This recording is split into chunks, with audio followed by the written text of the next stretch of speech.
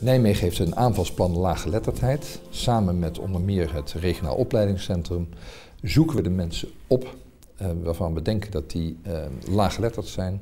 We bieden ze uh, hulp aan, we bieden ze trajecten aan voor werk, maar ook voor opleidingen. En onze doelstelling is om elk jaar meer mensen te, te begeleiden en ehm, in het project te krijgen. En dat lukt ook.